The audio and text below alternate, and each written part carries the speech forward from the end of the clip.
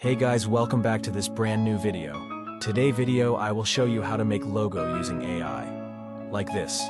I am posting a video on YouTube after a long time and guys 3000 subscribes have been completed to my channel. Thank you very much for subscribing to my channel. Using website link in the description and don't forget like this video.